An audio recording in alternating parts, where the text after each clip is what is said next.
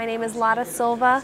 Um, and I, I was originally born in Brazil. Um, my mom moved at a very uh, young age. She left me in Brazil to come to America to uh, give me a better life, a better life for her as well. Once she was finally able to um, bring me to America, um, we, uh, you know, she, we struggled obviously. Um, we grew up knowing that God existed, um, but I didn't know Him personally. I didn't have, we didn't really go to church. Um, I didn't own a Bible. So for me, it was never, I, I, always, I always did feel like something was like missing. Um, but you know, you go throughout life, uh, and I, um, it wasn't until I went to college and I was uh, studying uh, to be a nurse, all my sciences. I loved it. However, um, I just felt so out of place in, in what I was learning, and I felt like I wasn't going to be truly happy doing that. Um, but I made the abrupt decision to quit college, and um, it made me feel just awful. I was depressed. I felt like a loser and a quitter. Um, and uh, but I, I, was living on my own with a roommate, and I had to make a living. So I was bartending, I was serving um, at late nights, but I was just so empty. I didn't know what I wanted to do with my life, and what I didn't have a purpose. Um, and so it wasn't until my friend asked me, like, "Well, what were you doing when you last felt truly happy?" And it was I had to think back elementary school when I was putting on dances and performances and shows. Like that's when I felt happy and alive. And so she was like, just go for it. And uh, I did. And I showed up and it was an incredible, like I just felt at home. But it was also the same time that I started going to church.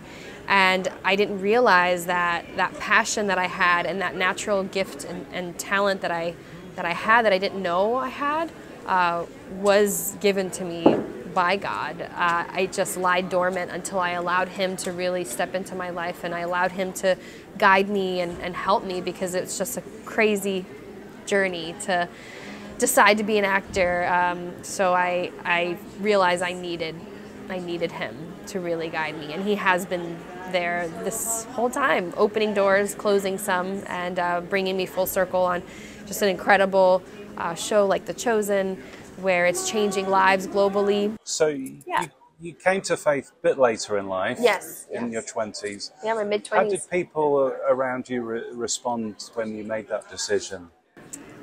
My mom was so happy. She grew up Catholic, um, so she just was happy that I had found my faith and my my own relationship with Jesus, and um, I got I got saved, you know, shortly right after I, I found acting, um, and and uh, yeah, it's just been it's been an incredible journey since then, and my friends have been really supportive.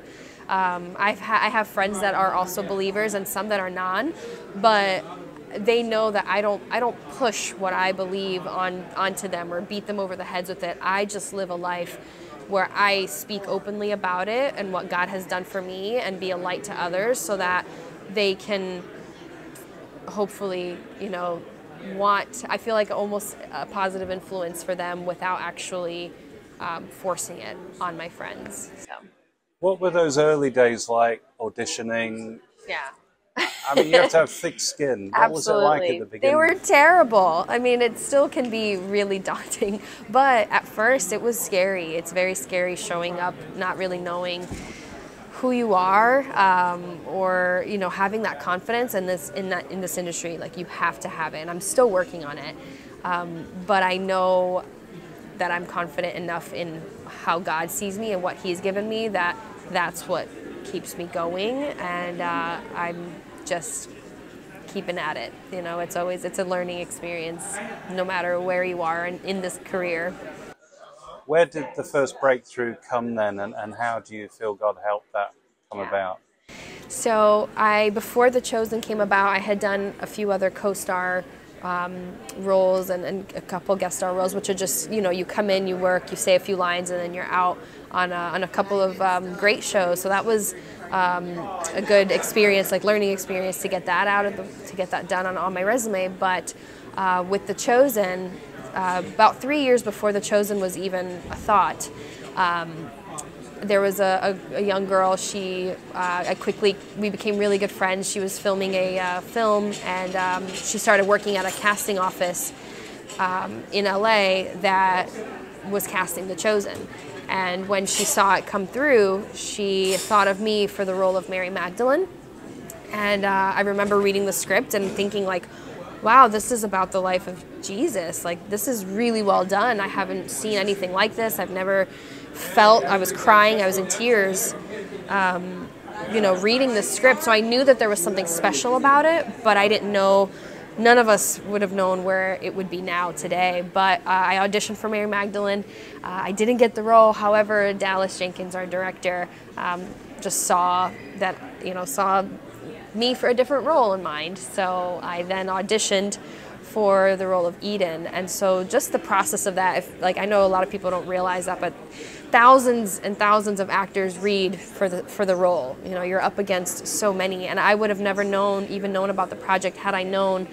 Uh, this girl that I met who we became friends, and she was uh, really strong in her faith and an actress as well. So it's like I looked up to her, and, and it's like it's almost like a divine the dots connected divinely uh, that God placed people in my life um, to, yeah, bring me somehow on the chosen. And yeah, Dallas uh, loved, you know, what I did. So it's just, uh, it's so humbling and I, it's mind blowing every time I talk about What it. was that experience like on the set, particularly the first few days? It was so scary because it was the biggest set I feel like I had been on. Um, as far as like the role that I had, I had a, a, a lot of scenes, a lot of lines. It was the most, the most that I've had.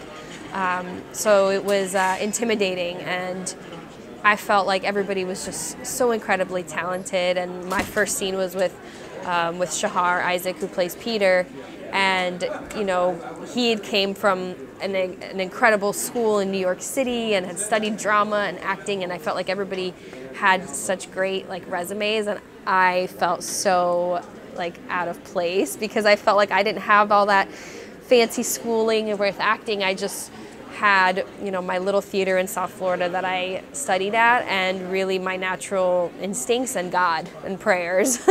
so, um, but that's what makes me who I am, and it took me a while to like accept that as well. That that's just who I am as an actor, and that's okay. When you were filming, did you have any idea how it would just be so huge around the world?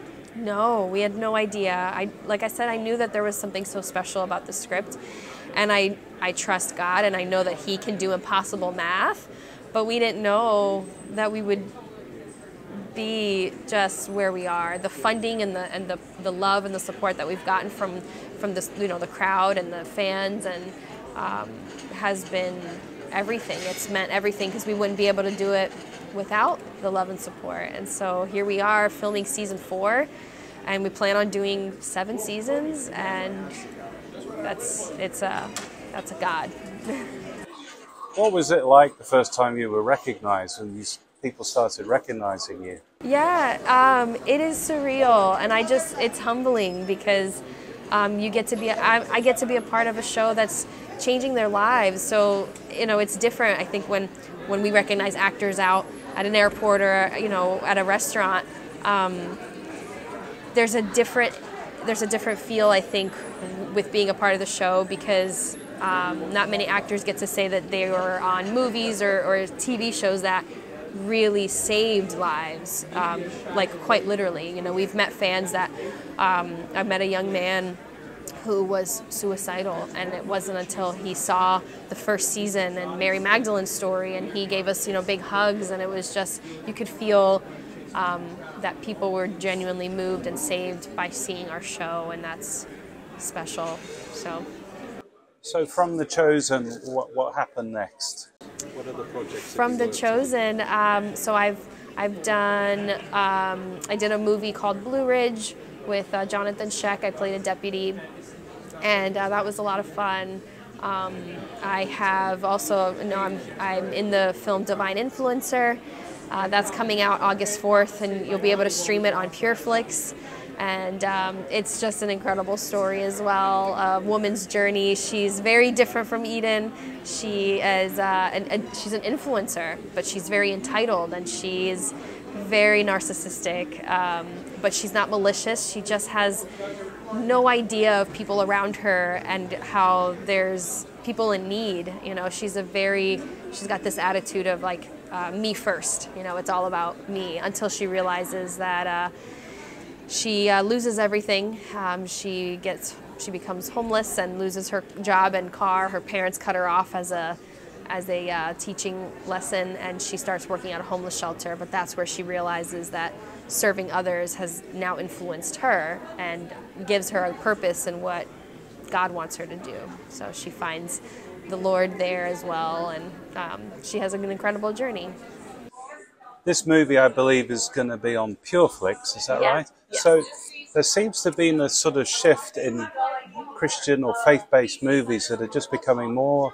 popular. Yeah. They did have a reputation being a bit corny. Yes. What do you think what do you attribute to that shift? I think, honestly, even with The Chosen, um, it was the first show, you know, multi season show about the life of Christ. But what makes us so special, why people relate to it so much, is because there's humanity and there's stories written in there that are actually, they may not have necessarily been written in the Bible, but it could have been plausible to lead you to what you actually read in the Gospels. For instance, um, you know, who Eden is. We didn't know that she, that might not have been her real name, you know, in the Bible, but we knew that she existed because Jesus heals her mother.